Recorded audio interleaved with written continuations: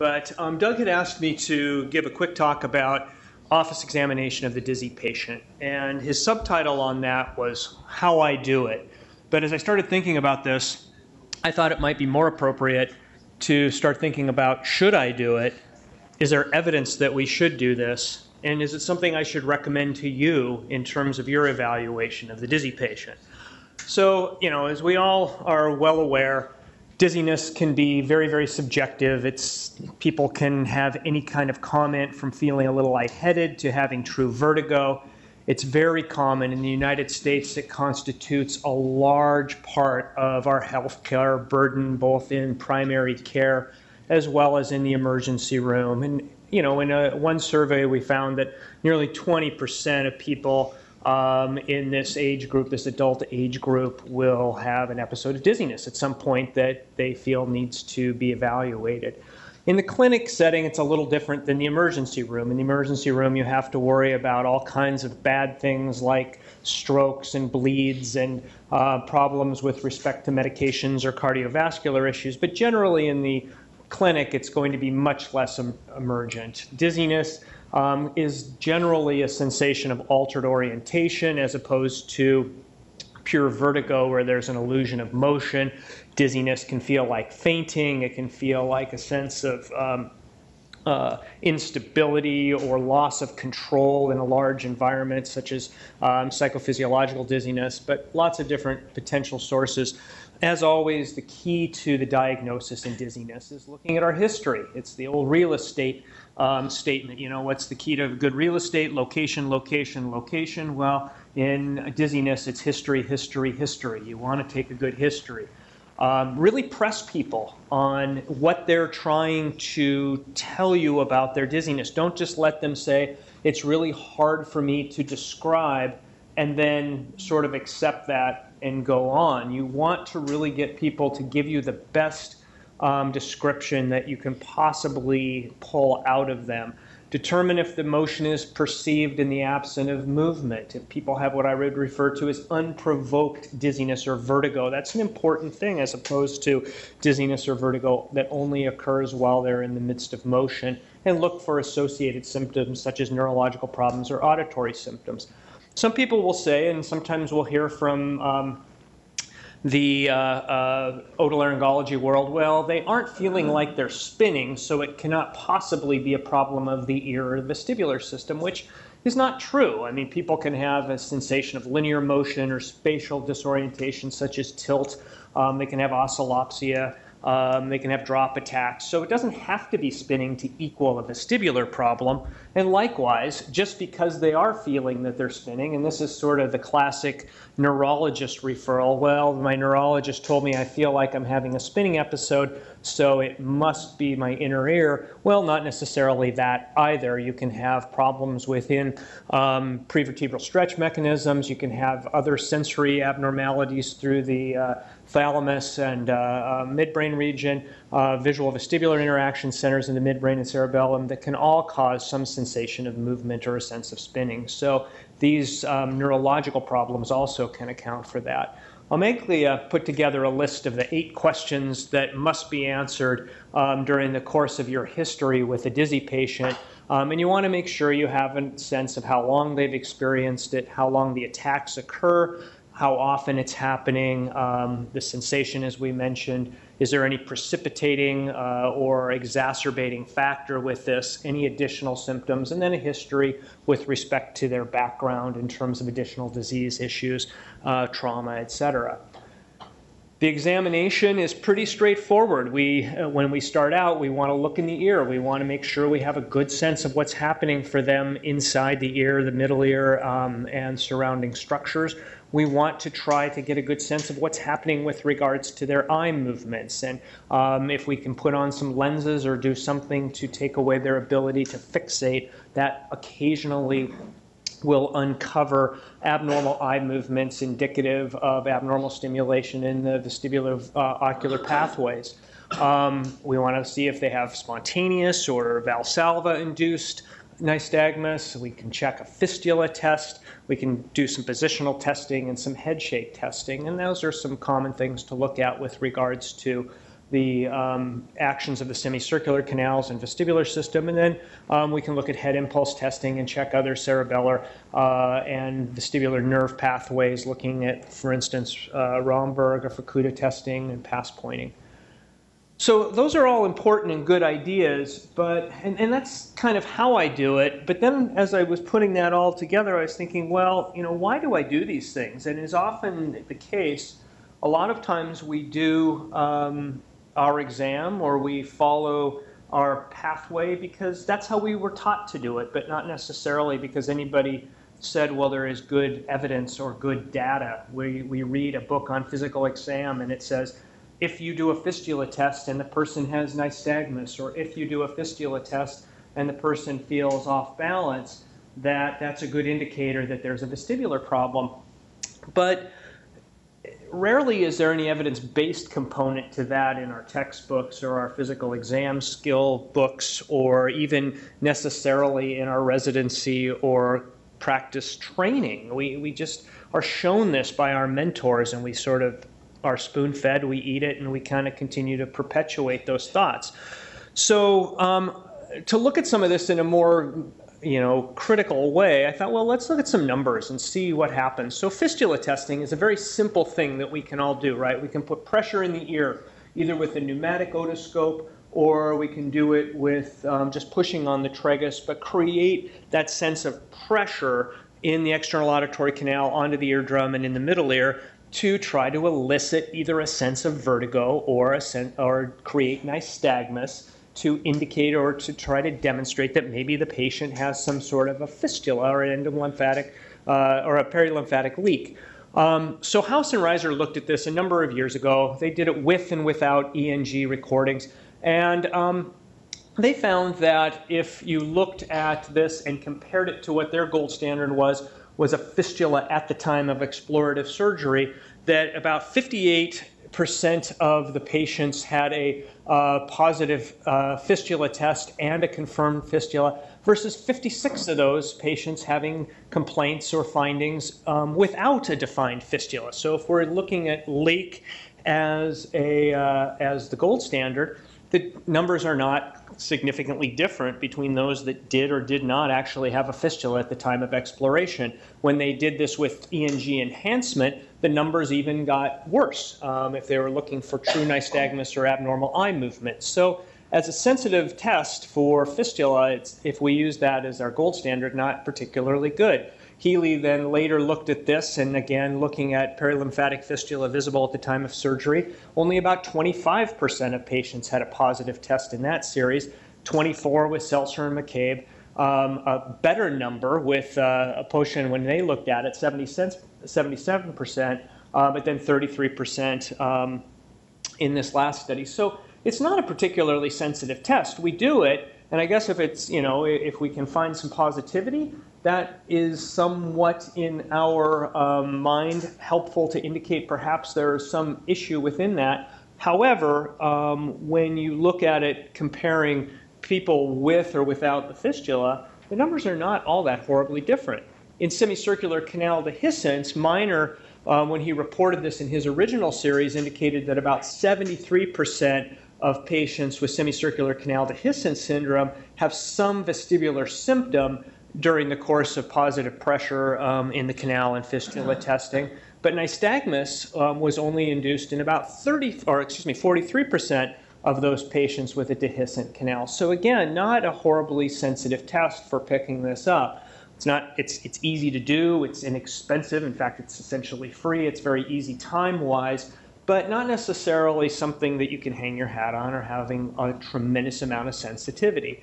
And how about head shake nystagmus? Basically, when we do head shake nystagmus testing, we're having the person shake their head very vigorously side to side for about 30 seconds. This, in, in turn, um, goes through and, and, achieves what's called a charging of the brainstem velocity storage mechanisms. And then when they stop and open their eyes, we're looking for perpetuated nystagmus that beats away from the lesioned or hypoactive side.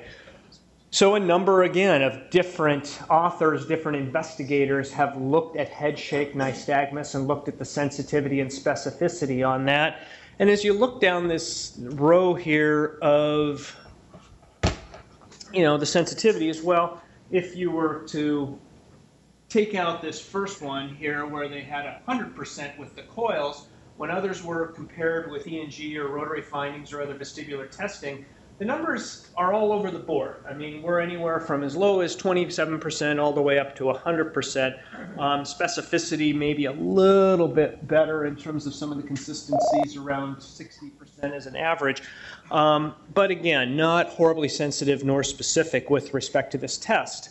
Um, there are additional series that looked at large numbers of patients, 420 patients in this series. Um, when we look at these again, neither none of these authors found that this is a particularly sensitive nor specific test with respect to correlation with ENG or other testing. Head and it's become a very, very commonly performed um, exam test trying to find hypoactive vestibular function.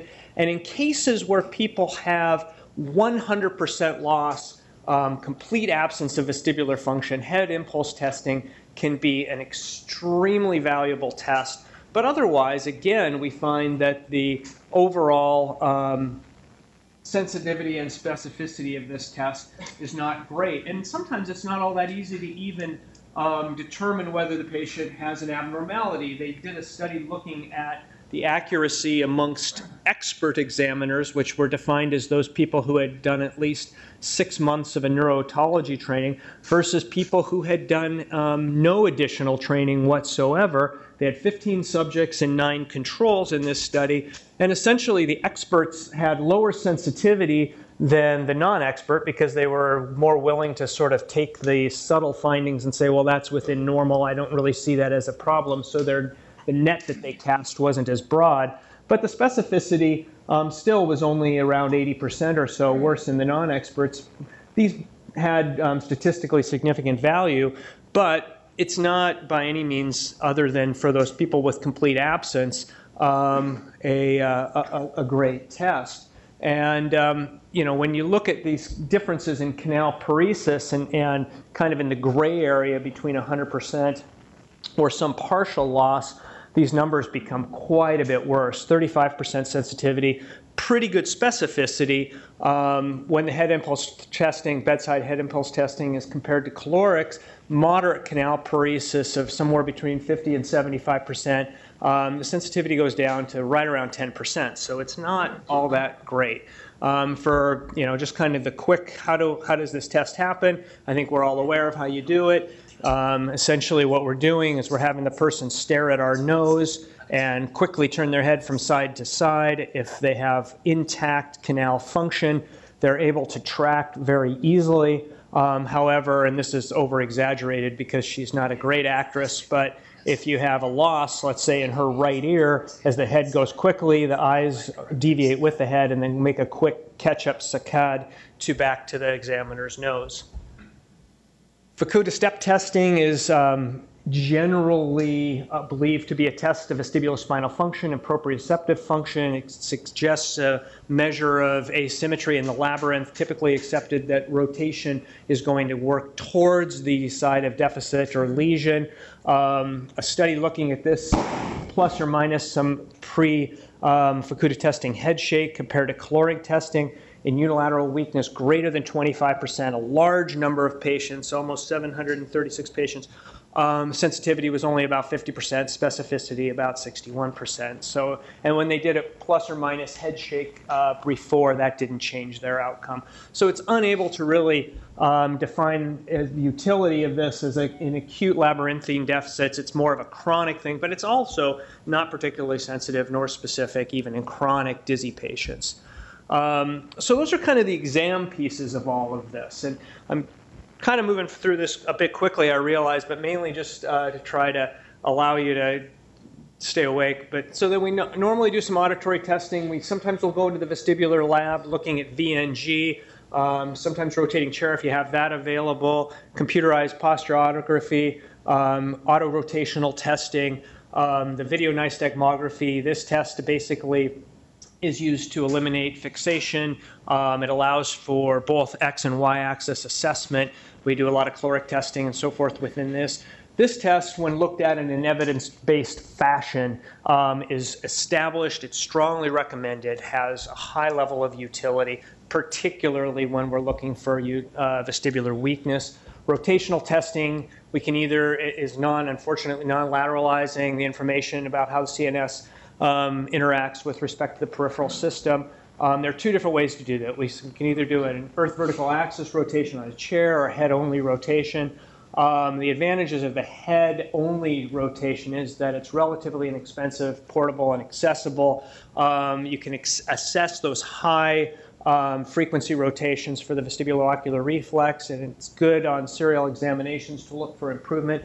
Unfortunately, the normative data on this isn't all that well established.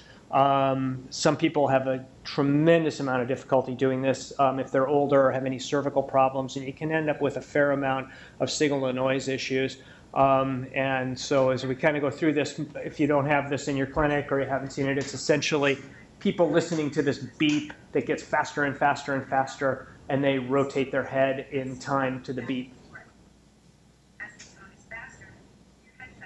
Do you, do you know anybody who uses this? We use this.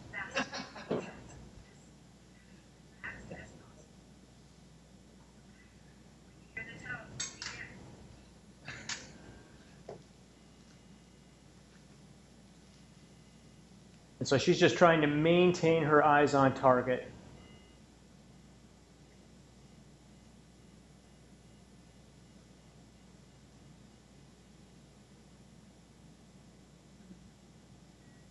And there are really three uh, measures that we're looking for on that. We're looking for um, the gain, you know, in terms of head movement versus eye movement. We're looking for symmetry and we're looking for phase, making sure that their eyes are moving in the opposite direction of their head. Um, conventional rotational testing is certainly a better, more physiological way to do this, but it's difficult to find. It's an expensive machine. Um, and so we don't have a tremendous amount of uh, access to this kind of out in the in smaller towns. Certainly in larger cities, it's available. Um, it disadvantages it's not side specific, and um, so you end up with simultaneous vestibular stimulation. It's great in bilateral loss, however, to be able to assess that, looking for a bilateral weakness versus complete absence. Posturography, there's still controversy regarding how useful this is.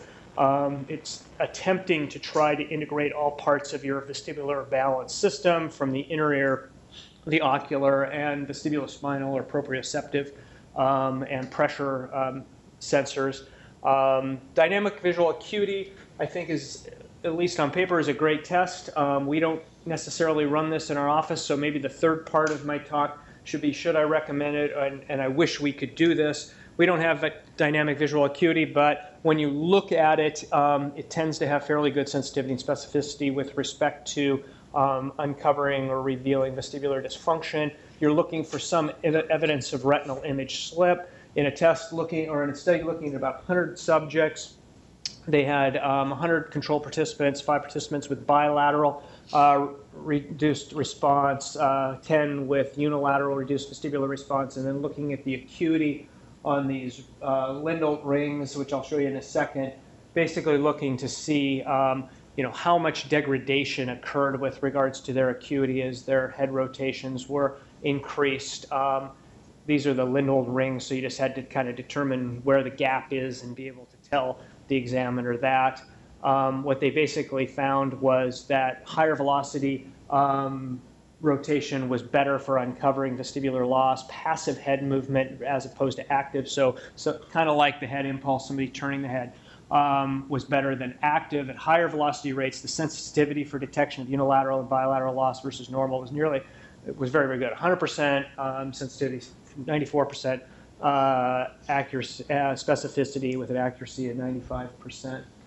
Um, so looking at evidence base and all of these things kind of put together, class one uh, evidence, if you recall, is blinded broad spectrum uh, group of participants, prospective study, and you can read all the rest coming down through class two, three, and four evidence, um, fourth being the worst, and then looking at where that leads to strength of recommendations with respect to evidence-based medicine, either something that's well established and very useful or predictive, all the way to inadequate um, and of very little value, essentially, Um, we, this is tough to read, sorry. I was always told if you have to apologize for your slide, you shouldn't use it. But this chart um, I thought was valuable to at least look at. Essentially, Class A or, or A rating evidence really comes down to rotational chair and caloric testing. Everything else is either B or worse, and most of the class evidence behind the uh, particular um, test or data is a pretty low, um, low evidence-based uh, class simply because it's either poorly established or um, has not been studied in a prospective fashion.